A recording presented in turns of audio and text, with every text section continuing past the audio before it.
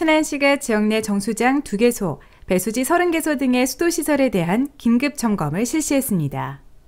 이번 점검은 최근 인천을 비롯한 일부 지자체에서 발생한 수돗물 유충 발생 사건과 관련해 유사 사고 발생 가능성을 사전에 차단하기 위한 선제적 조치로 진행됐는데요.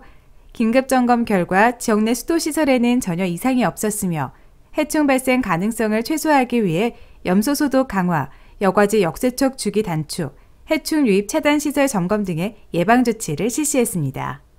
모래 여과지를 사용하는 표준 정수 처리 방식으로 운영 중인 천안시의 정수장은 여과지 세척을 2일에서 4일에 한 번씩 하여 안전하게 수돗물을 공급하기 때문에 시민들이 안심하고 사용해도 되는데요. 천안시 정수장은 모래 여과지를 사용하는 표준 정수 처리 방식으로 수돗물을 생산하고 있어 안전합니다. 우리 시는 시민들께서 더욱 안심하고 수돗물을 사용할 수 있도록 수도시설 점검과 함께 수도꼭지 수질 점검 및 천안시 전체 아파트를 찾아가는 수돗물 안심 확인제를 실시하고 있습니다. 시민들께서도 수용과 내의 저수조 및 옥내 배관 관리 등 청결에 주의를 기울여 주실 것을 당부드립니다.